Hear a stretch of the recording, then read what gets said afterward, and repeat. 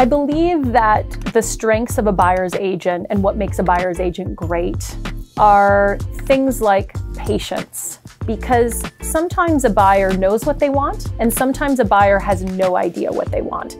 And so, our job, if you're a buyer's agent, is to ensure that you understand the entire process. So, sitting down with you uh, before you start looking at anything, making sure that you've been pre approved by a mortgage broker or a bank and you have a real good understanding of what your mortgage payments will be, what your interest is, when your mortgage payment will start, what your payout penalties look like.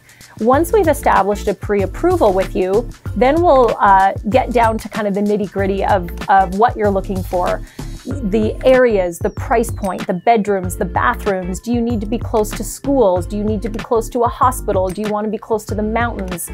And then my agents will set you up on what's called an automatic email and they'll introduce you to our portal system.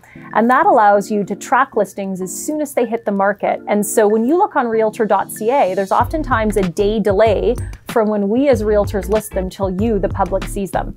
And so this automatic email on this portal will allow you to get the listing the day that any realtor in the city submits it. The second we submit it is when you get it. And so you can call it a head start over looking on realtor.ca.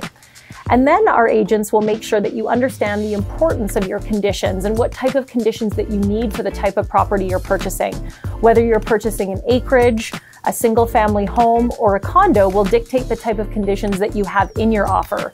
We want to make sure that you have particular terms that help with a seamless closing, that that home is clean for you on the day that you move in, uh, that the RPR is up to date and there aren't any complications because a seller has added an air conditioning unit and forgotten to update it. That you, if you're buying an acreage, that you've had a well and a septic test done. And so every style of home will dictate the type of conditions that you have in your offer. And then once those conditions are removed, our agent will walk you through that closing process and what to expect from removal of conditions until the day that we can hand you the keys.